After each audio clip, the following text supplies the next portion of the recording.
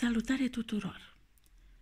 Astăzi vorbesc despre steaua fixă Sirius, semnificația sa și ce reprezintă în harta natală. Această stea fixă Sirius, cunoscută și ca Alpha Canis Majoris, este o stea galbenă foarte strălucitoare. De fapt, este cea mai strălucitoare stea de pe cer și este poziționată în zona gâtului Canis Major, câinelui cel mare. Numele acestei stele derivă din grecescu Seirios, scânteie. În Egipt a fost Sotis și este înfățișată cu Jupiter în zodiacul Dendera, deoarece Jupiter a fost împreună cu Sirius în timpul eclipsei de soare din 51 înainte de Hristos, ziua în care tatăl Cleopatrei a murit. Calendarul egiptean antic s-a bazat pe cicluri lunare de aproximativ 30 de zile și pe răsăritul elicoidal al stelei fixe Sirius. Această stea este de natura lui Jupiter și Marte, care dă o combinație de ambiție, mândrie, dragoste de putere, măreție. Oferă onoare, renume, bogăție, devotament, pasiune, dar și resentimente, și îi poate face pe nativi să fie custos, curatori, tutori. De asemenea, oferă pericol de mușcători de câine și Sirius era la 1900 la 12 grade și 42 de minute în zodia racului. În prezent este la 14 grade și 5 minute. De asemenea, Sirius poate da o moarte celebră cu onoruri mai ales dacă este poziționat în casa 8 -a. În aspect bun cu Marte și Jupiter și aproape de mijlocul cerului, poate promite bogății, afaceri de succes, dar, în același timp, probleme de guvernare. Această stea este excelentă pentru militari, avocați, funcționari publici. Sirius împreună cu Soarele și bine plasat în hartă, poate fi găsit în cazul numeroaselor personalități celebre. În limba acadiană antică se numea casista, ceea ce înseamnă conducătorul și prințul oștii cerești. Sirius stăpânește mamelonul sânului drept în corpul uman. Despre influența constelației Canis Major. Ca legendă se spune că această constelație – reprezintă câinele pus de Jupiter să păzească Europa, pe, pe care Zeus o răpise. Tolemeu afirmă că stelele acestei constelații, cu excepția lui Sirius, sunt ca Venus, adică au caracteristicile planetei Venus. Se spune că dă calități bune, caritate și o inimă credincioasă, dar patimi violente și periculoase. Există un pericol sau o frică de întuneric și riscul de mușcături de câine. Cum funcționează conjuncția dintre Sirius și planetele din harta natală? Această stea indică că prin efortul tău poți obține mult mai mult decât te aștepți. Dacă, de exemplu, ai Sirius, ești născut între 3 și 9 iulie sau ai ascendentul în rac, casa 10 sau luna, între 11 și 16 grade în rac, înseamnă că ești influențat de Sirius. Și steaua Sirius este protectorul tău. Îți poate oferi reputație bună, realizări, faimă, multe talente, dar se așteaptă și mult de la ei. Dacă devin egoiști, atunci pot cădea în disgrație. Dacă Sirius se află la ascendent, poate da funcție înaltă în guvern, cu, re- cu profit și reputație, onoare militară. Parcă ar vorbi de politicienii noștri. Ar fi bine de studiat. Pe ascendent și cu Marte, Sirius poate fi destul de periculos, pentru că e multă ambiție acolo, pot fi pericole de răniri sau atentate asupra nativului. Conjuncția între Soare și Sirius se regăsește în multe hărți ale celebrităților. Pentru că există multă protecție. și oferă ascensiune, succes în afaceri. Conjuncție cu luna poate da succes în afaceri, prieteni influenți de sex opus, favorabil în relația cu tatăl, sănătate bună, schimbări benefice în casă sau în afaceri. Dacă Saturn este cu luna și cu Sirius, poate să dea moarte prin uh, atacul uh, animalelor sălbatice sau în urma unui conflict armat. În conjuncție cu Mercur, Sirius poate oferi succes în afaceri, ajutor prin intermediul unor persoane influente, dar poate să ofere și defect fizic în urma unui accident. În conjuncție cu Venus, poate oferi confort și lux, extravaganță, câștiguri prin moșteniri. În conjuncție cu Marte, poate oferi uh, talent militar, carieră în avocatură, funcționari publici de succes. Curaj, generozitate, atracție către domenii militare sau în domenii în care se lucrează cu metalele.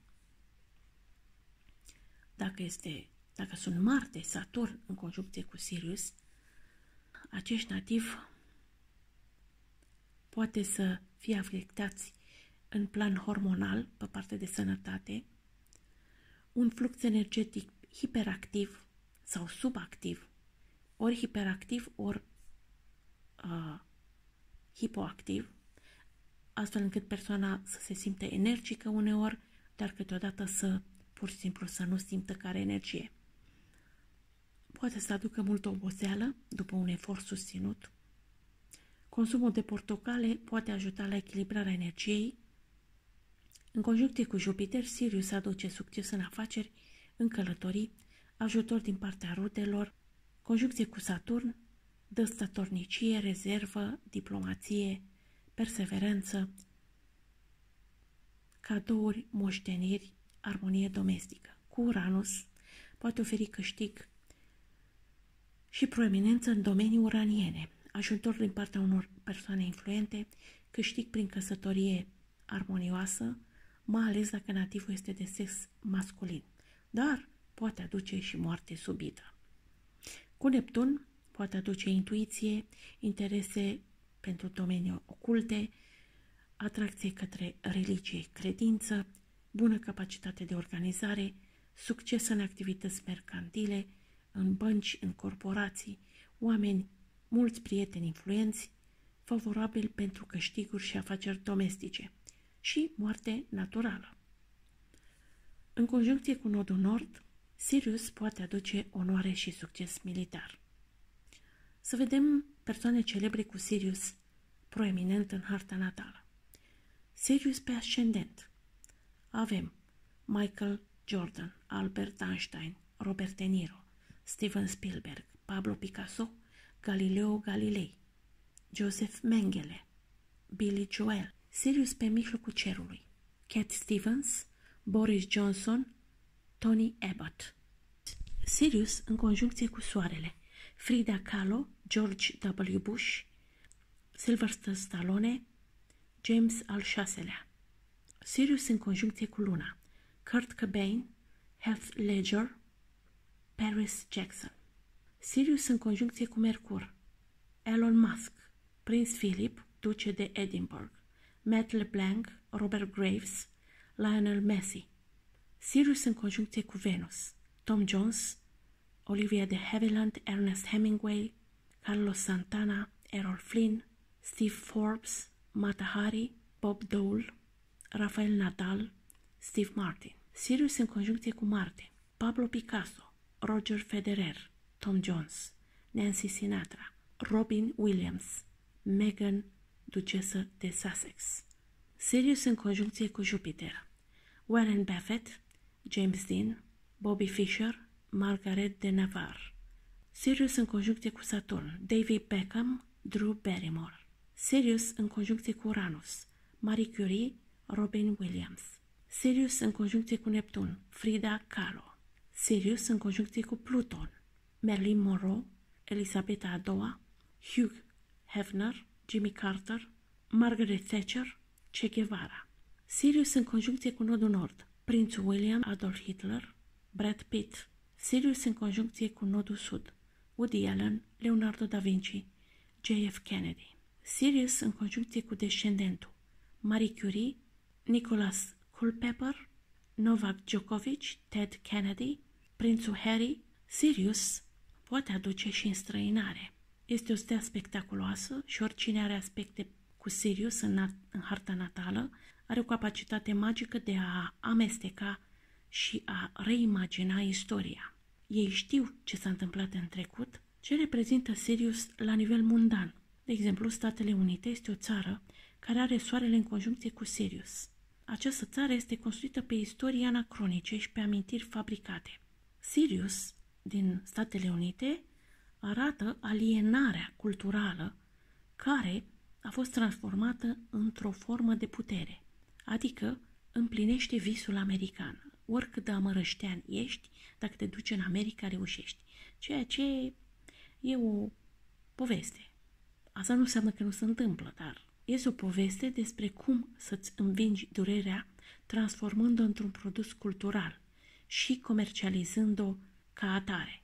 O poveste americană. Statele Unite uh, se privește sau se manifestă ca o forță integratoare pozitivă în lume, așa crede ea, deoarece crede că are capacitatea de a aduna mai mulți oameni la un loc, chiar dacă ei sunt inadaptați. Se percepe ca pe un adăpost pentru străinații din alte țări.